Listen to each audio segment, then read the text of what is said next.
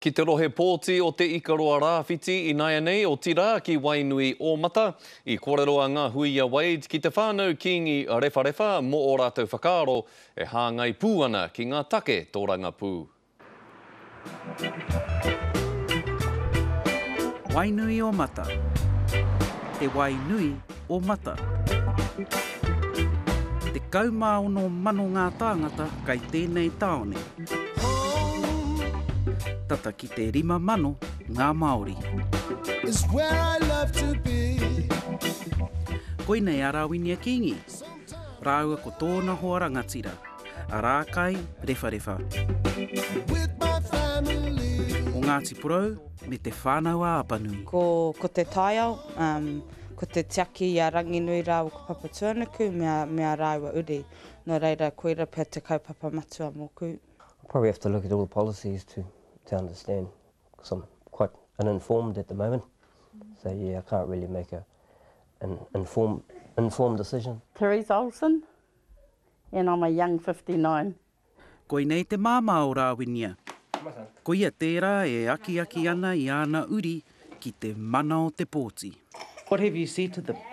That it's important to vote, that we have to vote, that we have to go and have our say, um, because otherwise then we haven't got a right to criticise, and um, yeah, just to stand up and be counted, basically.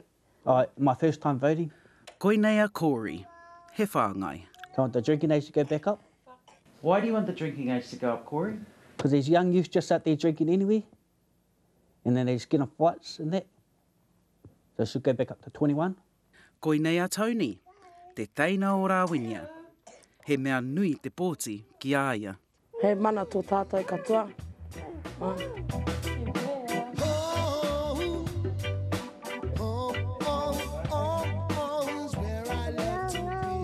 Kia ora Aotearoa! Tekau ngā mema o tēnei whānau e noho tahi ana i tō rātou ake whare. Ko ngā māhanga i ngaro atu i te wā i tae atu a Te Karere. Kakariki nei te āhua, um, koira hoki te taiao e hiahiatia e au mo aku tamariki. The Labour Party?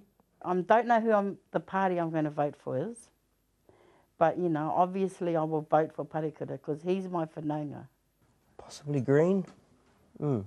Kei rina noa tonu ai te taiapa mo tera a whakaaro tonu ana.